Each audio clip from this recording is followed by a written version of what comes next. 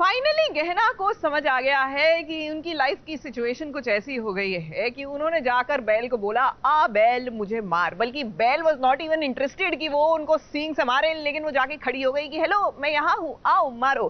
क्यों? क्योंकि ये जो माँ और बहन को वो अपने घर ले आई है ना माँ और बहन को नहीं लेकर आई है मुसीबत घर ले आई है। इतनी रात को तुम मोटे भाई के कमरे में क्या कर रही थी? अरे मैं तो पहले ही ये लड़की के रंग ढंग बेशर्मी बेहया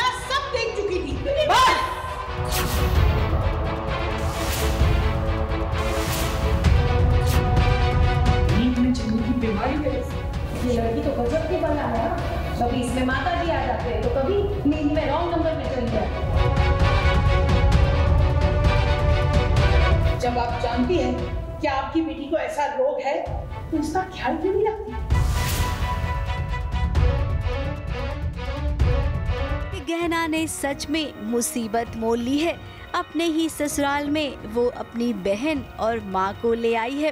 अब जब से ये दोनों आए हैं कोई न कोई हरकत ऐसी करते हैं कि हर किसी को इन दोनों पर शक होता है। वैसे शक तो ये गहना को भी होता है लेकिन वो इग्नोर कर देती है। इतनी रात को तुम मोटा भाई के कमरे में क्या कर रही थी? इतनी रात को मोटा भाई के कमरे में उनके बेड पर और इतनी बड़ी बात तुम्हें नहीं पता? अरे मैं तो पहले ही ये लड़की के रंग ढंग बेशर्मी बेहया सब अब गहना तो है ही ऐसी, लेकिन गहना की सासू माँ, वो तो बहुत ही तेज है। वो पहले दिन ही समझ गई थी कि स्वरा एक नौटंकी बाज लड़की है। अब स्वरा के साथ साथ उसकी माँ भी वैसी ही है।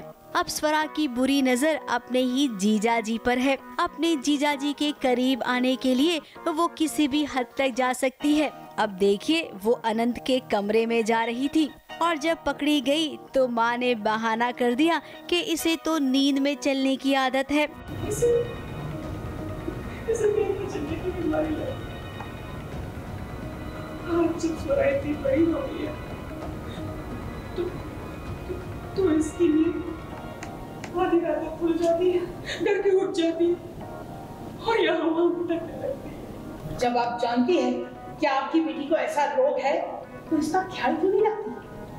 ऐसे ही उठकर किसी के भी कमरे में चली जाती है।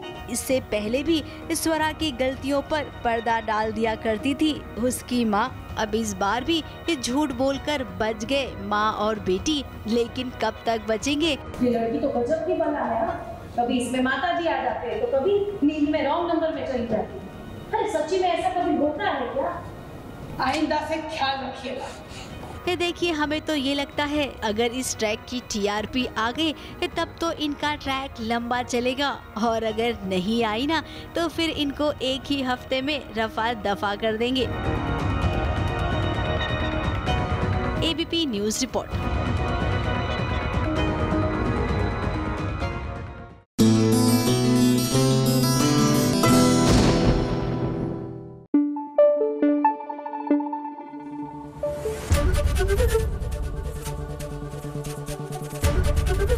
ABP news आपको रखे आगे।